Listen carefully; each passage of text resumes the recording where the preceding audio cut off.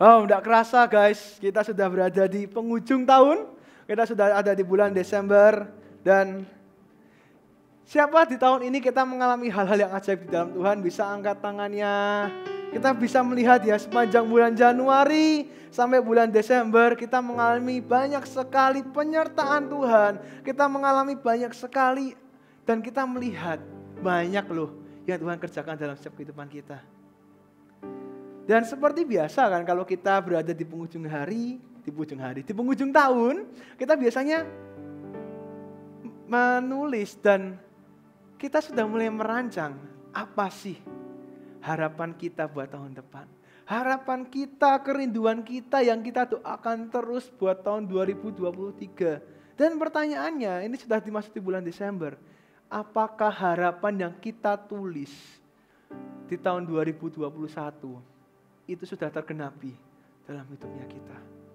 Kita pasti menuliskan resolusi tahun 2022, aku mau ini, aku mau lulus kuliah, aku mau IPK kumlot mungkin, aku mau keterima di pekerjaan ini, di perusahaan A, B, C, dan D. Pertanyaannya, apakah semua yang sudah kita rindukan sudah terjadi di tahun ini?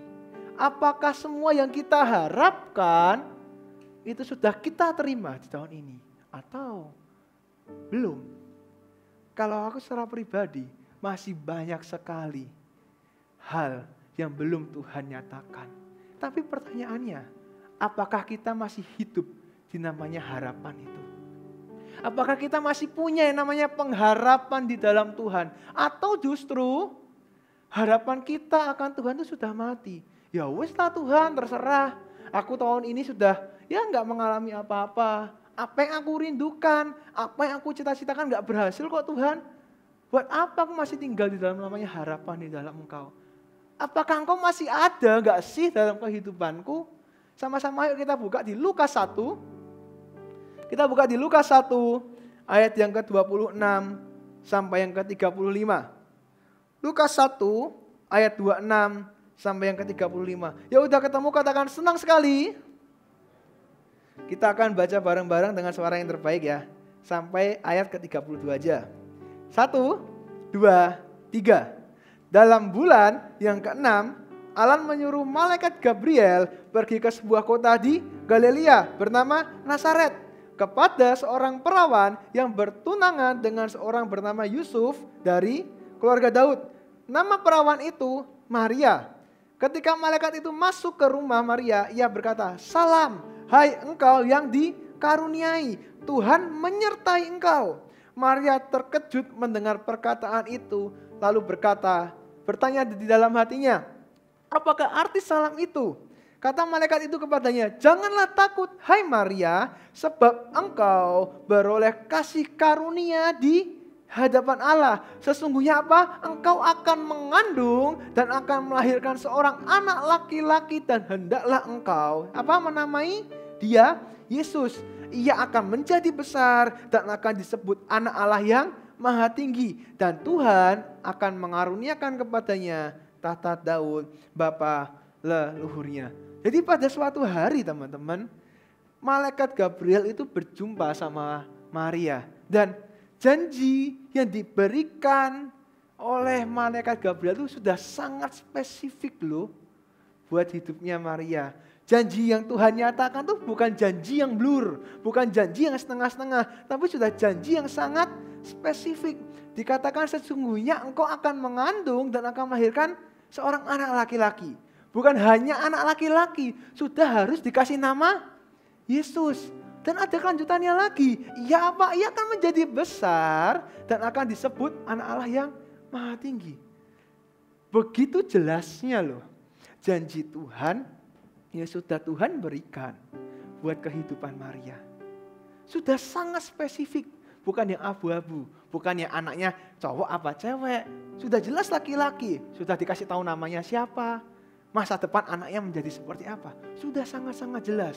Tapi yang menarik di ayat yang ke-31 sampai yang ke-33, Maria itu belum menikah loh.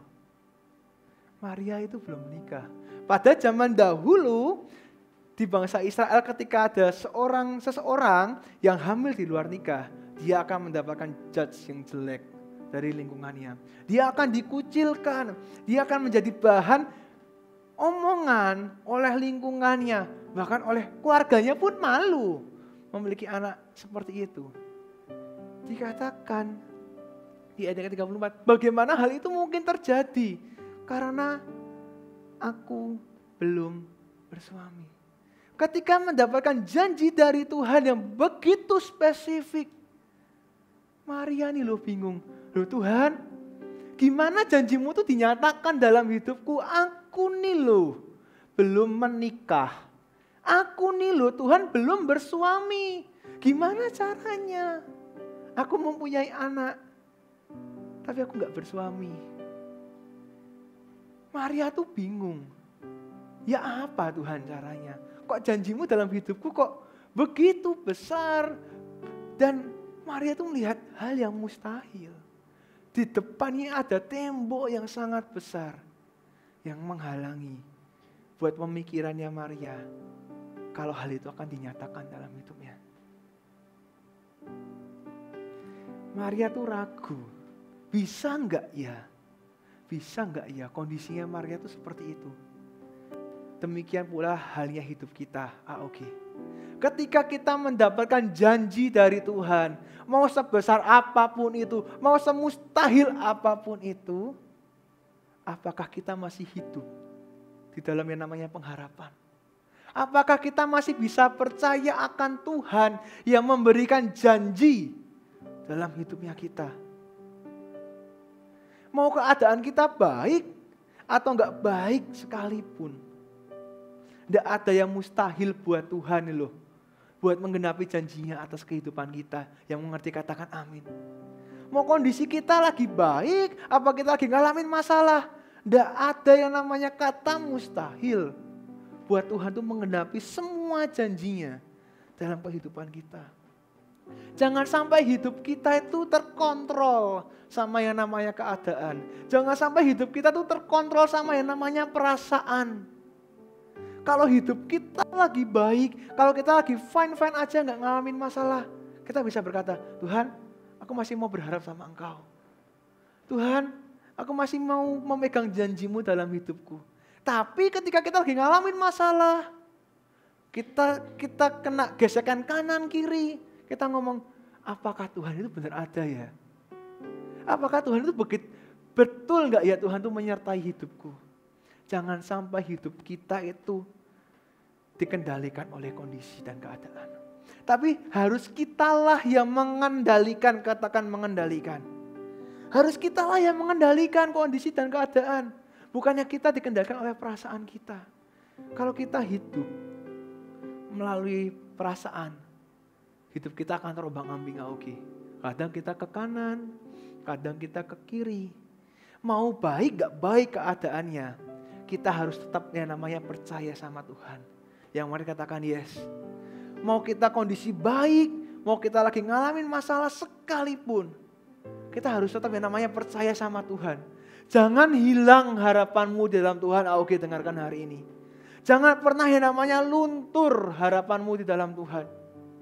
Tuhan loh sudah sudah menyediakan hal yang besar dalam kehidupan kita. Apakah pertanyaannya hari ini? kita masih percaya sama Tuhan? Atau justru ya udah kita mulai luntur kepercayaan kita sama Tuhan. Kita mulai ngomong, Tuhan aku udah gak percaya lagi sama Engkau. Tuhan aku udah gak mau menaruh harapanku sama Engkau lagi. Hari ini ada tiga poin AOG yang sama-sama kita mau belajar di tempat ini. Poin yang pertama, hati kita harus tenang dalam Tuhan. Hati kita tuh harus tenang di dalam Tuhan dengan kondisi apa pun. Katakan kondisi apa pun. Mau kondisi seperti apa pun, hati kita itu harus tenang. Tidak boleh ada yang namanya rasa takut. Nah di Yeremia 29 ayat yang ke-11 berbunyi seperti ini. Sebab aku ini mengetahui apa rancangan-rancangan apa yang ada padaku mengenai kamu Demikianlah firman Tuhan, yaitu apa? Rancangan damai sejahtera dan bukan rancangan kecelakaan untuk memberikan kepadamu hari depan yang penuh harapan. Janji Tuhan dalam setiap kehidupan kita itu sudah sangat-sangat besar. Dikatakan yaitu rancangan damai sejahtera dan bukan rancangan kecelakaan untuk memberikan kepada setiap kita nih loh AOG hari depan yang penuh yang namanya harapan. Bukan hari depan penuh dengan kemustahilan. Bukan hari depan penuh dengan yang namanya ketidakpastian. No, tapi hari depan penuh dengan harapan. Kalau setiap kita tenang, cuma menunggu kondisi dan keadaan, maka itu nggak pernah terjadi. Ah, Oke. Okay. Karena di firman Tuhan kan tertulis, dunia ini semakin hari semakin semakin jahat. Bukannya dunia semakin hari semakin baik, tapi dunia akan semakin jahat. Kalau kita menaruh rasa aman kita, kalau kita menaruh rasa tenang kita hanya karena kondisi dan keadaan, sampai kapan pun itu nggak akan pernah terjadi dalam hidup kita. Jangan sampai hidup kita dikuasai oleh keadaan yang ada. Jangan terjebak dia namanya rasa takut. Jangan terjebak di namanya rasa putus asa. Karena apa? Hidup kita bukan karena kondisi dan keadaan. Hidup kita karena apa? Apa yang Tuhan katakan dalam hidup kita. Bukan keadaan kanan kiri yang terjadi atas hidup kita. Tenang itu bisa kita temukan di dalam Tuhan. Kita nggak bisa menemukan ketenangan melalui teman-teman kita, melalui sahabat kita, melalui sahabat orang-orang terdekat kita rasa aman dan rasa tenang bisa kita temukan di dalam Tuhan. Yang mengerti katakan yes. Hanya Tuhanlah yang bisa yang bisa mengisi kekosongan dalam hidup kita. Kita mau cari semuanya di kanan kiri, kita mau mencari semua kesenangan di dunia ini.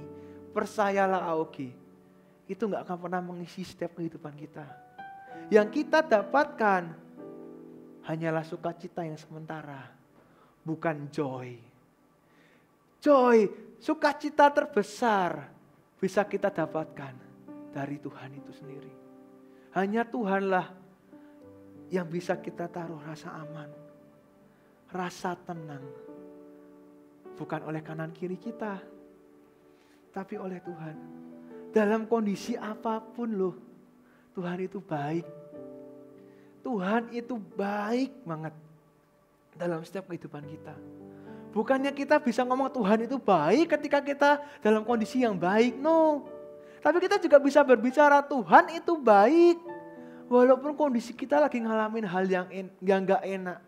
Kita bisa ngomong Tuhan itu baik walaupun kita mengalami yang namanya tekanan. Kita bisa ngomong Tuhan engkau itu sangat baik. Walaupun kita melihat jalan buntu ada di depan kita. Apakah kita hanya bisa ngomong Tuhan itu baik ketika kondisi kita lagi enak aja. Tapi kondisi kita nggak enak, kita bisa melupakan Tuhan.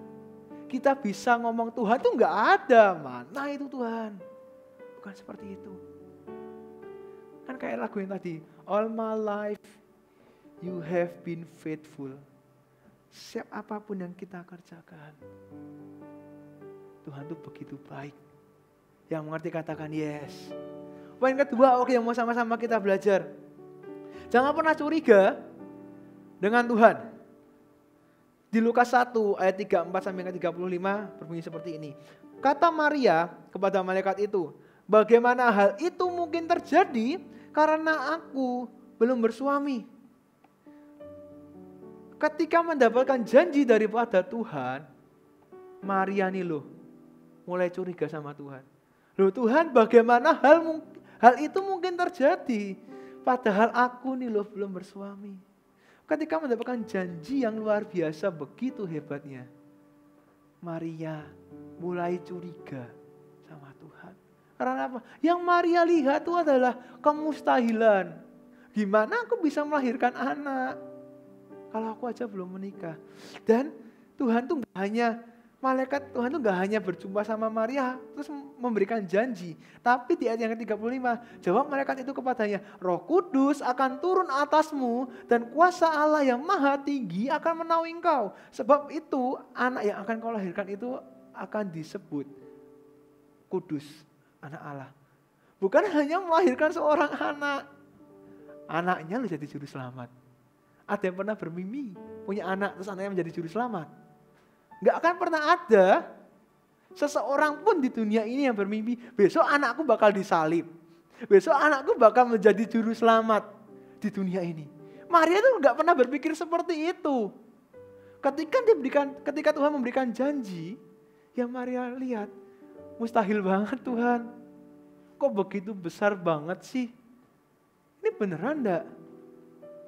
Aku akan mengandung karena roh kudus. Ya apa Tuhan caranya aku mengandung gara-gara roh kudus? Begitu besarnya, begitu mustahilnya. Lalu Maria itu curiga sama Tuhan. Kenapa sih ada banyak orang yang imannya itu nggak pernah tumbuh? Ada banyak orang yang ketika datang ke ibadah, datang ke CG, hidupnya ditambah-tambahi terus, ditambahi firman Tuhan, mendengarkan firman Tuhan. Tapi hidupnya nggak pernah, nggak pernah ya namanya mengalami kepenuhan. Ada juga orang yang mengimani banyak hal, tapi nggak pernah terjadi dalam hidupnya. Karena satu, pondasi hidupnya salah. Hidupnya hanya berdiri di namanya curiga sama Tuhan. Kalau pondasi hidup kita salah sama Tuhan, kita terus curiga sama Tuhan. Jangan pernah harap janji Tuhan itu dinyatakan atas hidup kita. Karena apa? Pondasi yang kita miliki itu salah. Setiap Tuhan berkata seperti apa? Ah apa benar sih ini omongannya? Ah apa benar sih Tuhan itu baik? Ah apa benar aku bisa sembuh? Kita selalu curiga sama Tuhan. Kita selalu curiga. Hal yang besar. Iman kita ini lo gak akan pernah bertumbuh. Ah oke. Okay. Kalau kita selalu curiga sama Tuhan. Ketika kita curiga sama Tuhan, tidak ada satu janji pun yang akan Tuhan genapi dalam kehidupan kita pastikan oke. Jangan sampai kita tuh curiga sama Tuhan. Tapi pertanyaannya, gimana caranya biar kita tuh nggak curiga sama Tuhan? Gimana caranya buat kita tuh nggak curiga sama Tuhan? Sekarang, kita nggak akan pernah curiga sama orang yang sudah dekat sama kita. Benar? Contohnya, ketika hari ini aja deh, hari ini aku ngomong di tempat ini, yuk sama-sama kita naruh HP, HP kita dikumpulkan di belakang, terus tak bawa aja deh selama dua jam. Apakah kalian berani ngasih HP kalian ke aku dan tak bawa dua jam? Atau justru kalian tanya, itu kan bakal buat jual kok. Malah buat jual nih buat makan, makan buat beliin apa. Kita nggak akan pernah percaya sama Tuhan. Kita bakal terus curiga sama Tuhan kalau kita nggak pernah yang namanya kenal sama Tuhan. Kita akan terus curiga sama Tuhan kalau kita nggak pernah yang namanya dekat sama Tuhan. Begitu pula dengan kita. Kalian nggak akan pernah percaya sama aku. Kalian nggak akan pernah ngasih HP ke aku. Kalau kalian nggak pernah kenal siapa aku itu sebenarnya. Demikian pula dengan Tuhan. Ah, Oke. Okay. Apakah hari ini pertanyaannya kita kenal dengan Tuhan? Seringkali kita berkata, loh Tuhan Aku itu kenal engkau.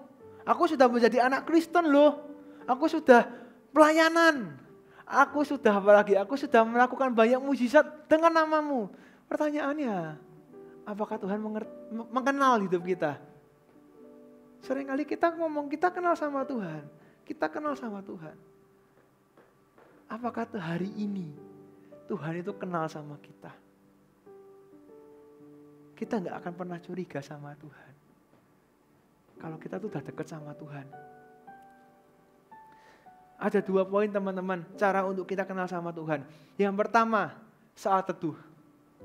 Aku gak akan pernah capek bilang, aku gak akan pernah capek buat mengingatkan tentang yang namanya saat teduh. Sangat penting dalam setiap kehidupan kita buat kita itu yang namanya membaca firman.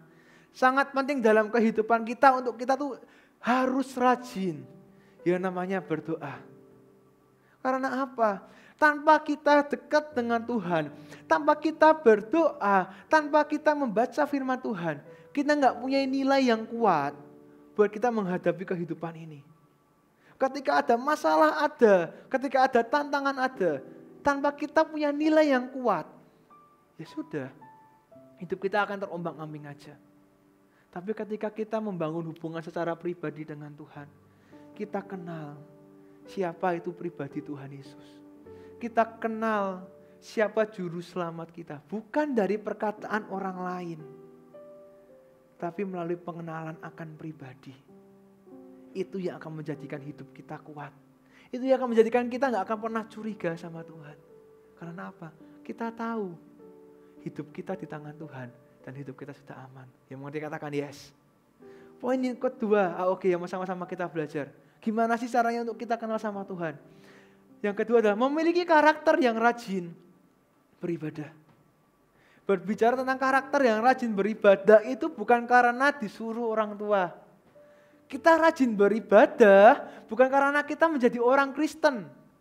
Kita rajin ke gereja, kita rajin bercegi bukan karena KTP kita Kristen, no. Tapi kita tahu kita rajin ke gereja, kita rajin datang CG karena kita mengasihi Tuhan. Ya setuju katakan yes.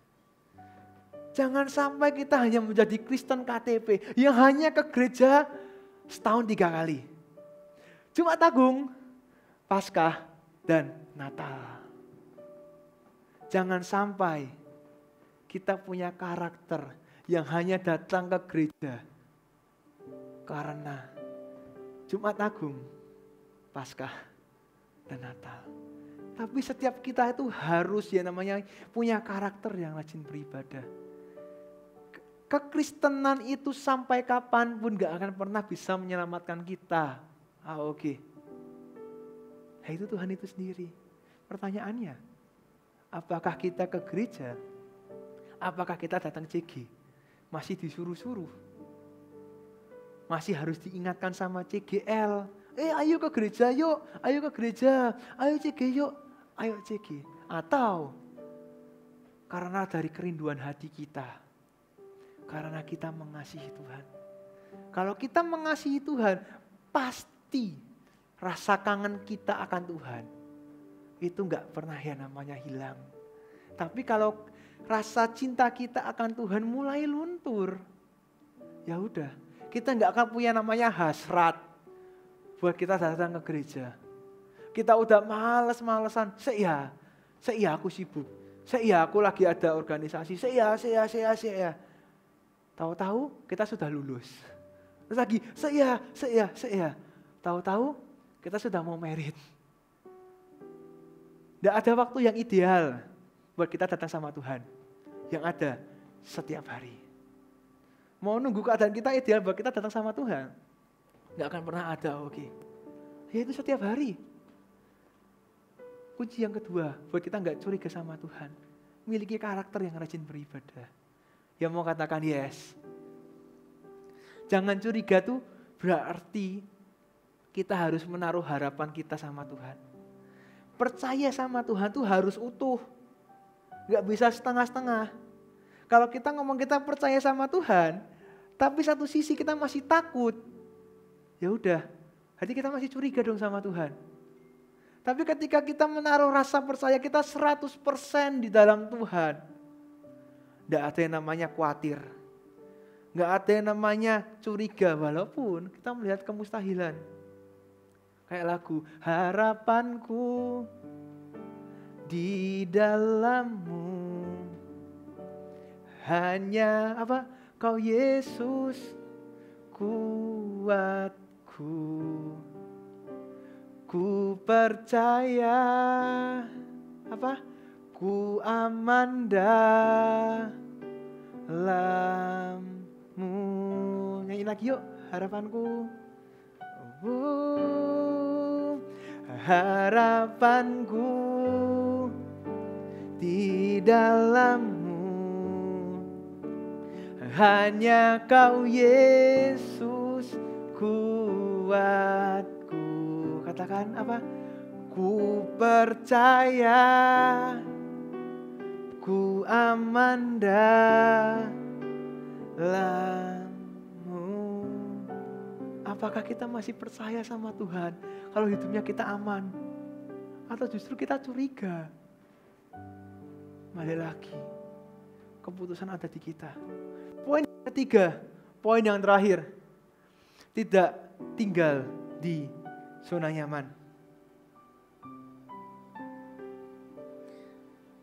Pada zaman dahulu kan kita tahu ya, kalau orang lahir di luar nikah, pasti hidupnya itu akan dijudge jelek.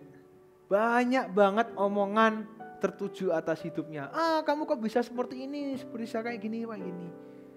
Udah dikucilkan oleh sosial, diserang oleh banyak. Dan bahkan kalau kita baca ya selanjutnya, bahkan ketika Tuhan Yesus dilahirkan, Maria dan Yusuf harus berpindah menghindari orang yang mau membunuh Yesus. Bayangkan, enak gak menjadi Maria dan Yusuf? Udah disangsi sosial, udah dikata-katain sama lingkungannya. Bahkan ketika anaknya lahir pun mau dibunuh. Gak enak banget kondisinya yang dialami oleh Maria dan Yusuf. Tapi mereka berdua buat memutuskan buat mereka itu gak tinggal di namanya zona nyaman. Mereka nggak memilih buat menolak janji Tuhan. Mereka ada peluang nggak buat mereka menolak janji Tuhan? Ada.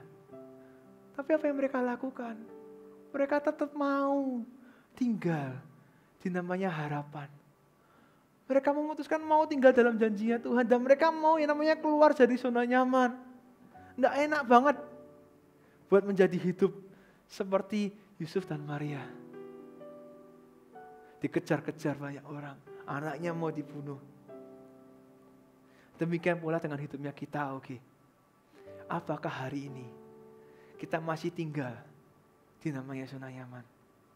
Kita masih ngomong, aku masih enak seperti ini.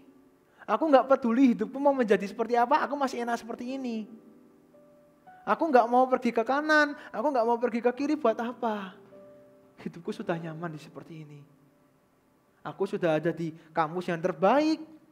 Aku sudah punya IPK yang paling baik. Bahkan mungkin hidupku sudah enak-enak aja Tuhan. Buat apa aku menambahi beban dalam hidupku?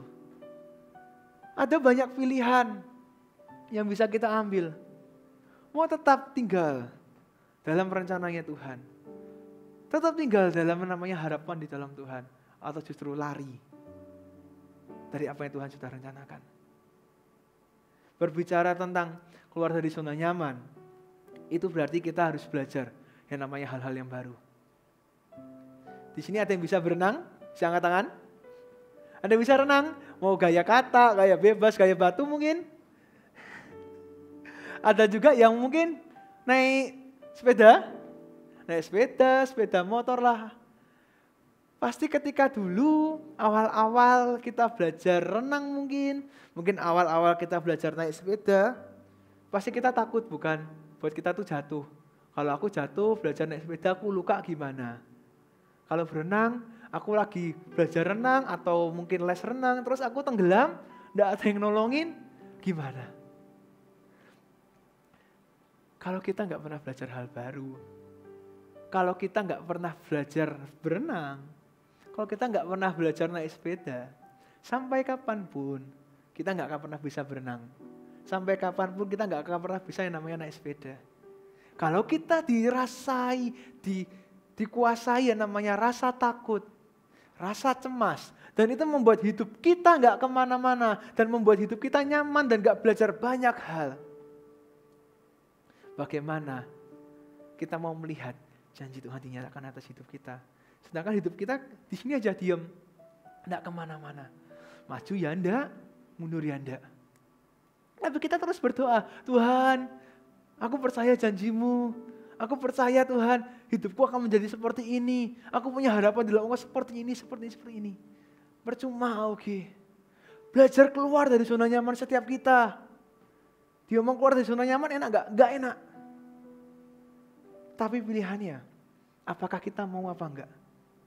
Di Amsal 16 ayat yang ketiga berbunyi seperti ini. Serahkanlah perbuatanmu kepada Tuhan, maka terlaksanalah segala rencanamu. Dikatakan maka terlaksanalah segala rencanamu. Berarti ditulis, kita punya rencana dulu, baru kita menyerahkan semuanya sama Tuhan, maka terlaksanalah semua rencana kita. Berarti hidup kita itu harus punya namanya planning ke depan, katakan planning. Hidup kita tuh harus tahu tujuannya mau ke mana, dan tujuan kita itu harus jelas. Kalau kita gagal buat merencanakan, berarti kita merencanakan buat kita gagal. Kita nggak bisa hidup hanya mengalir. Ya, aku hidupku kayak gini, dunia seperti ini ya wis aku ikutan aja.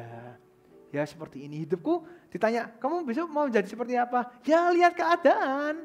Lihat keadaan dia kalau janji Tuhan digenapi ya, aku bakal menjadi seperti ini. Tapi kalau enggak, ya udah, aku ngikuti aja apa yang mau Tuhan mau.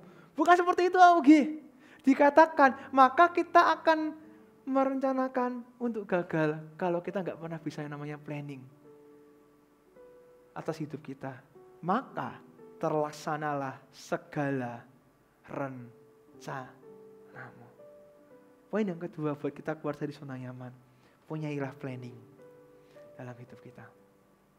Air itu mengalir dari atas ke bawah, ya kan? bukan dari bawah ke atas. Kalau kita ngomong hidupku mau mengalir aja, ya udah sampai kapan pun hidup kita nggak akan pernah naik ke atas. Tapi justru hidup kita seperti air, mengalir dari atas ke bawah tanpa kita sadari. Belajar. Jadi army of God you di tempat ini yang punya namanya planning. Apa yang mau kita kerjakan selama tahun depan? Jangan hanya ya ikut aja wis ikut aja wis. Mental army of God bukan seperti itu. Mental army of God. Yang selain dia percaya, dia punya planning. Dia tahu apa yang mau dia kerjakan. Dia tahu apa yang dia mau perbaiki. Dia tahu apa yang menjadi tujuan hidupnya. Dan itu jelas. Sama-sama yuk kita bangkit berdiri.